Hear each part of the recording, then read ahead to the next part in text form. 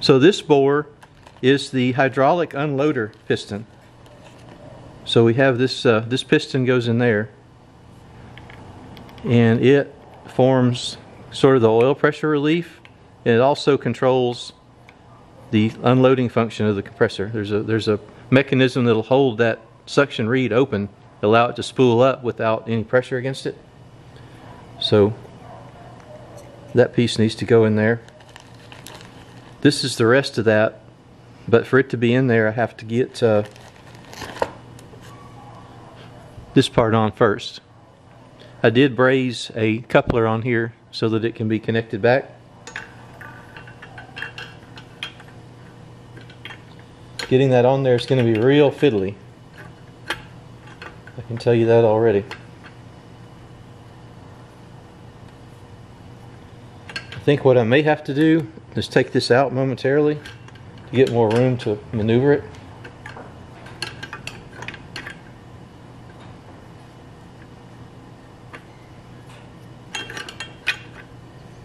Because I'm sure GE soldered this line to the side of the stator after all this was assembled.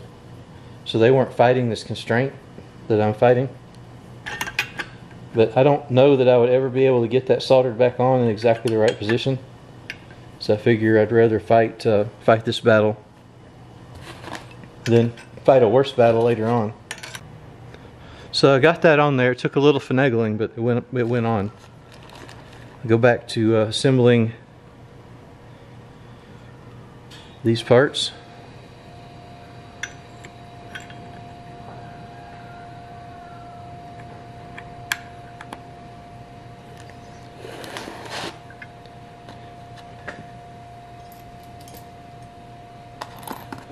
Can hear the neighbor's chickens over there talking about something.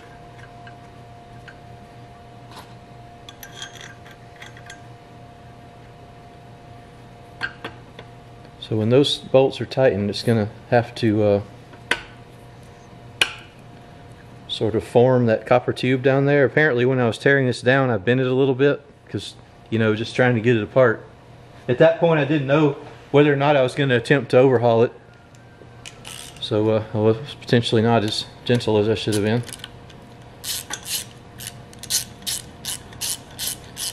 But, you know, I was gentle to some degree because I knew there was a chance. I wasn't, it wasn't, you know, let's just say from the day one intended to be only a machinery autopsy.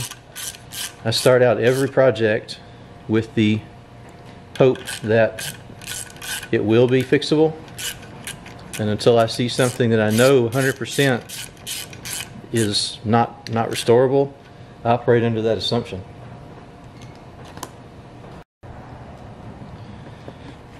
All right, so that's uh, getting closer. I had this foam pad down here because I was setting this uh, winding down on it before I put the housings on it and I did not want to set the winding down on a hard surface but now the pad is becoming an inconvenience. So let's go ahead and get rid of that.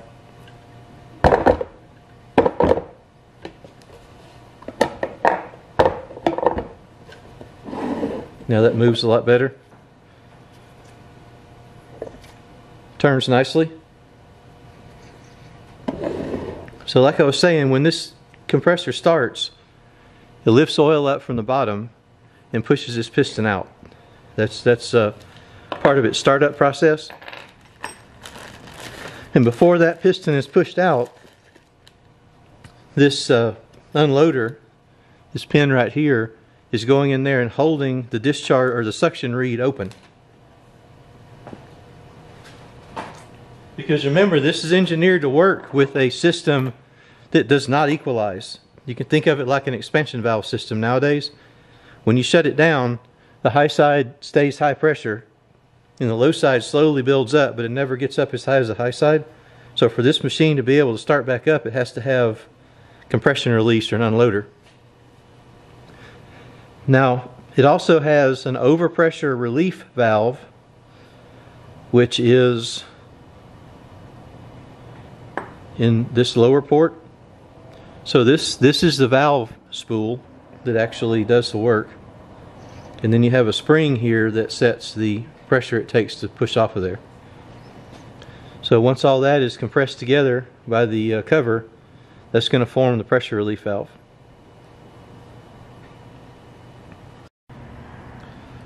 So that's in place. The opening for the unloader rod is there. This is keyed and the piston has a, a key in it that that fits in.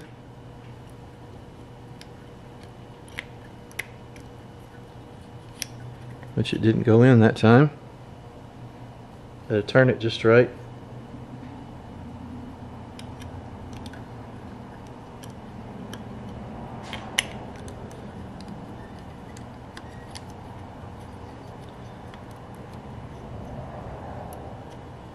Well, it came out of there. I know it can go back in.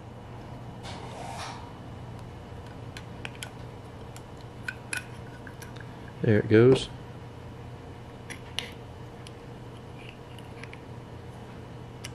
Now these two uh, head bolts go in there.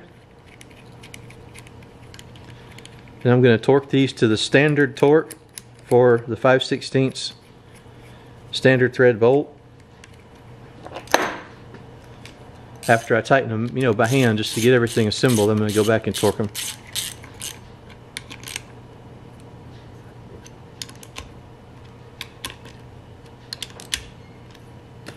So when this when this picks up speed, that'll push out. And that'll allow the compressor to load itself and be, begin pumping against compression. Before that pushes out, the motor will run, but it's not actually doing any uh, any compression.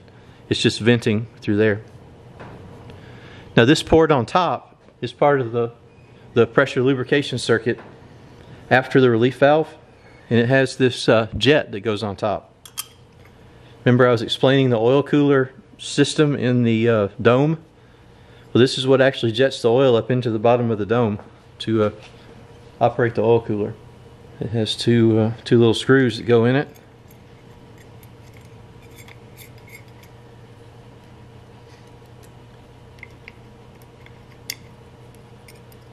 Something like so.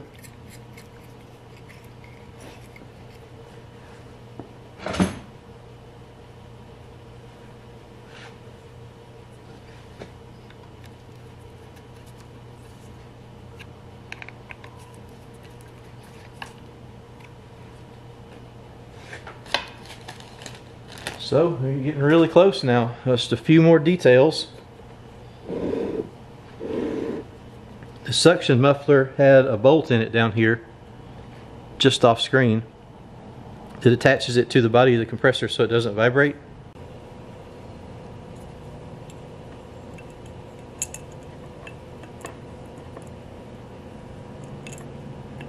This is another one of those jobs for someone with little small fingers. One interesting thing about this compressor, you know, it was obviously engineered to be a welded dome compressor, a welded system. So you wouldn't think that GE would have cared much about repairability. But from what I've seen working on it and other similar ones, they didn't put any sort of anti-repair designs in it. It's really meant to be rebuildable. The only only part that's above and beyond most people's uh, willingness to do is welding. Um, aside from that, this whole mechanism is all put together with nuts and bolts. Nothing's crimped. Nothing is, uh, you know, difficult to do. It's just a, a basic little single cylinder compressor. I've got to work on that bolt. The hole's not lined up quite right. All right, I got it started. You know what? I'm forgetting a part.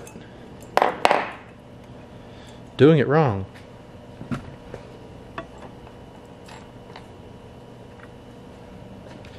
There's a little curved piece of metal that sits in there and clamps that curved inside of the pipe against the body of the pump.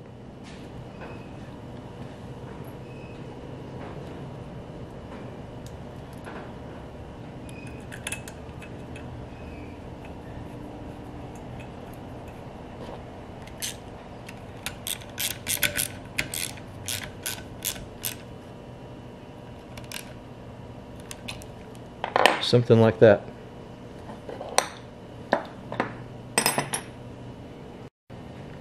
Well, one thing left to do, and that is to make a brief test run. And I say brief because, as you've seen, you know, we don't have a lube oil sump. So obviously we're not going to see oil pressure.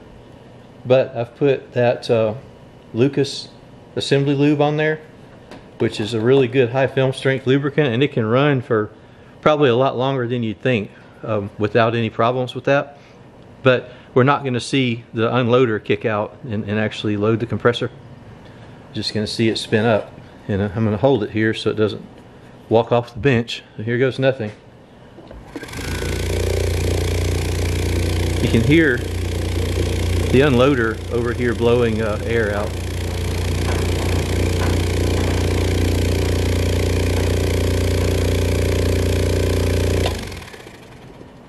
With the frame rate, I don't know what that's going to look like. Uh, when I was looking in the viewfinder, it almost looked like it was absolutely stationary. But uh, it's a four-pole motor at 60 hertz, so the synchronous RPM would be 1,800. And with no load on it, it's going to be darn near that. And with a 60 frames per second, uh, you know, video, it's going to pretty well catch this thing in each position alternating. So uh, it'll be interesting when editing that, see what that video looks like. But everything sounded normal. I, uh, I don't detect any issues with it.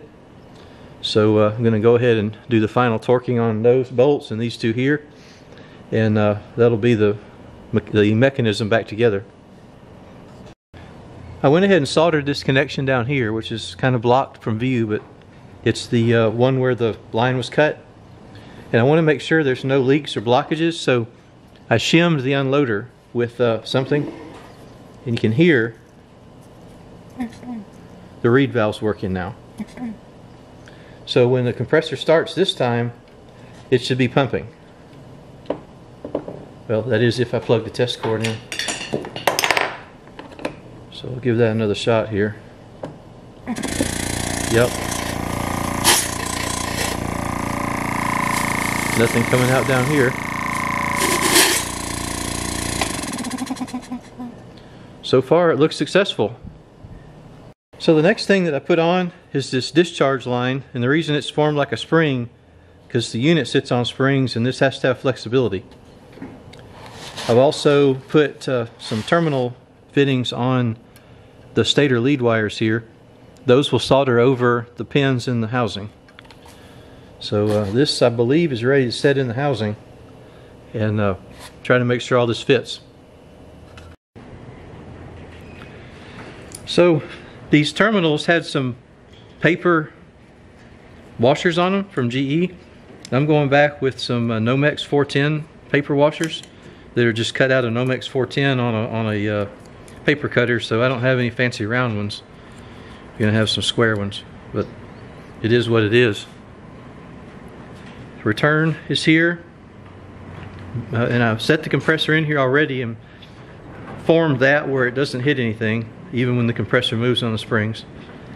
Got the oil drain plug trimmed off flush so it'll drain the maximum amount out. Got this cleaned up for the discharge line. So I guess uh, time to set it in there.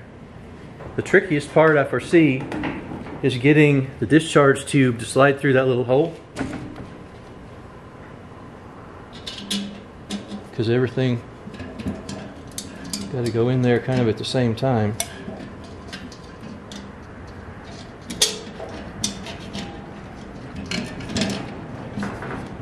Felt like it went in.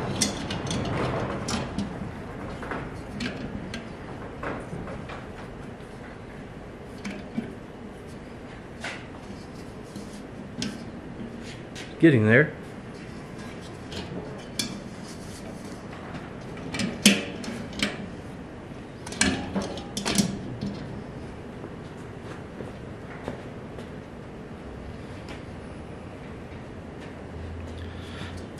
Now these uh, these electrical terminals sit over the studs like so.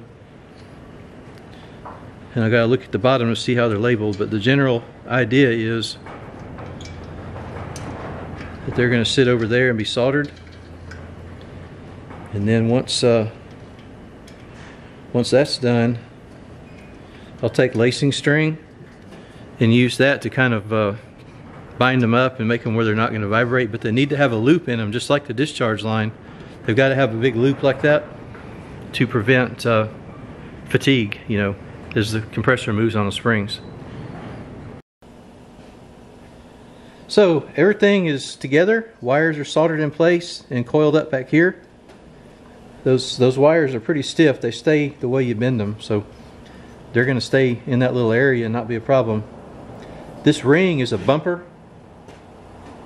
So uh, once this plate is put in here, if if you move the machine and it moves too far on the on the support springs, this bumper will hit uh, the plate. Now, my fear is if the lead wires get on top of that somehow they could get crushed, but only when this gets bumped. Might never happen. Or might might be okay up there. It might never hit it hard enough to crush it, but I don't want to to take that risk. So I made sure they're dressed down below that. I was going to put lacing string. I got to thinking, and uh, this this cable stays put really well like it like it is. If that lacing string came off, and floated in the oil, it would eventually get pulled in the oil pump and lock up the compressor. So I think that risk is much higher than the risk of uh, the wires getting in, in a bad position. So we're going to go with it like it is. Not, uh, not take the risk of having anything in there that could get in the oil and float around. So there's three little bolts, uh, quarter inch bolts that hold that retainer down. See if I can get them in there.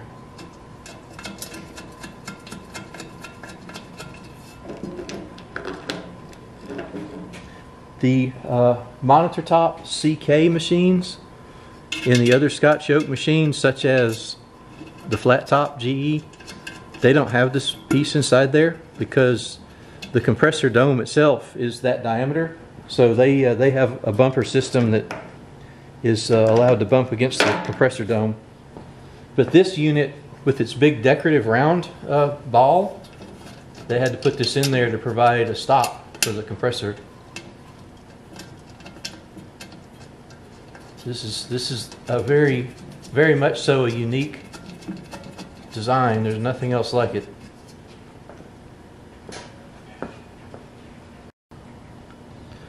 Well, I believe that's the last internal part of this compressor. And it is technically ready to be covered up. But, of course, we're going to test it with the top off. What fun would it be not to do that? first run is going to be just like the others with uh, no oil in the sump. And again, I've, I've lubricated everything very well, so it's not going to harm it for a few seconds. So we're going to go for a start here.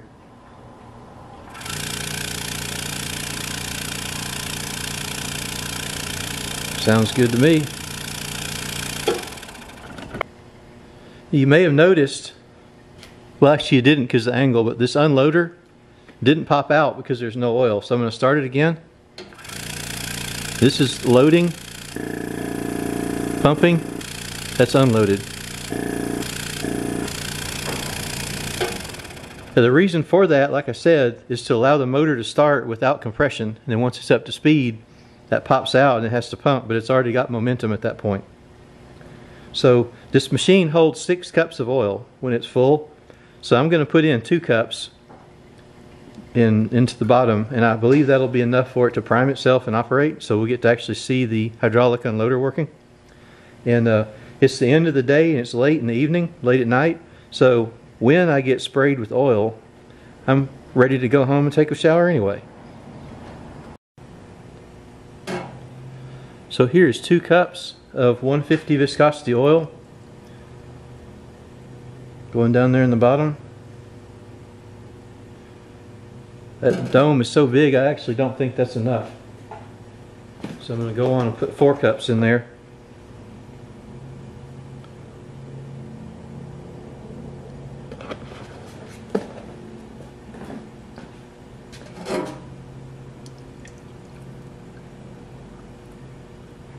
All right, that's uh, two thirds of an oil charge. So I put a tote lid back here. Um, Because, I mean, I know this is fixing to make just a hellacious mess. And uh, I know this is supposed to spray oil, so I'm going to just cover it up with a measuring cup. Now, watch the unloader. Let's see what happens here.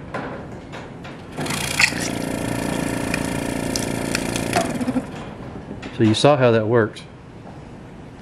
The measuring cup did its job, but it caused the oil from the cup to fall right down on the crankshaft. So that was making a mess. I wish I had a big glass bowl I could put over there to show it running for longer. But you could see the unloader push out as soon as the oil primed up.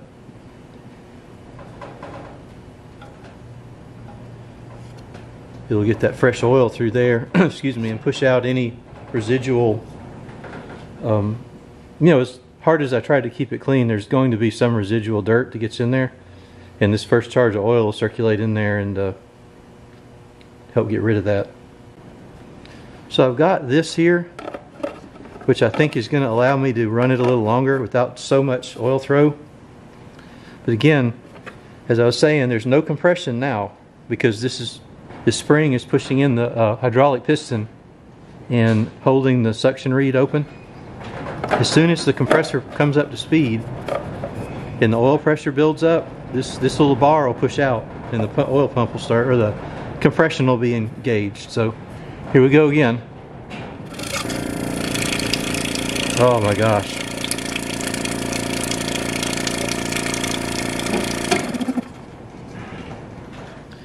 That has got one heck of a lubrication circuit for a 1.8 horsepower compressor.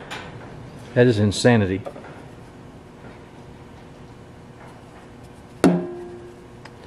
It's definitely interesting, that's for sure.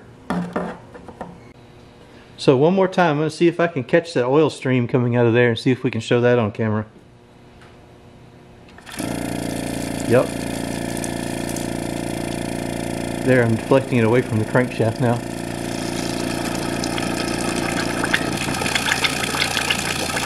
You see it went back to uh, to unloaded mode because the oil lifted up and uh, started filling up the motor and not going back to the sump fast because we're still very low on oil and it went back to unloaded.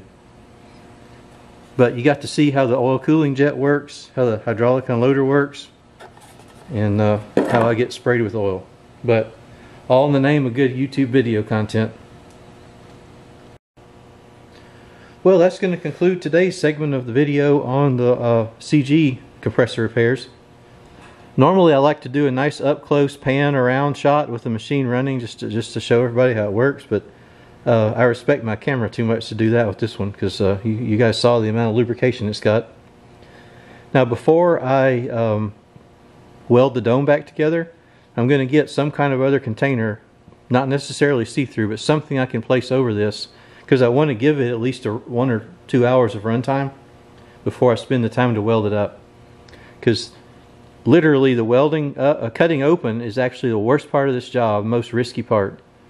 And the second is welding it back. And anything mechanical on the unit itself is not that hard to deal with, but I want anything that's going to go wrong to show up before I uh, weld it back together. And you know, it has to be tested so it's necessary, but putting oil in there is going to make the welding harder.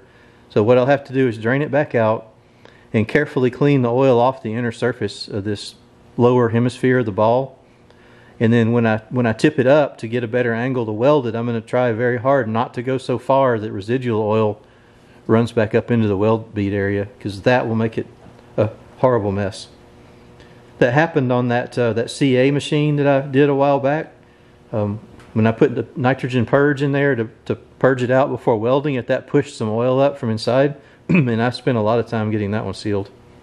So uh, I'm, I'm not an expert welder by any means. So um, anything that makes the job a little bit tedious for a good welder will make it nearly impossible for me.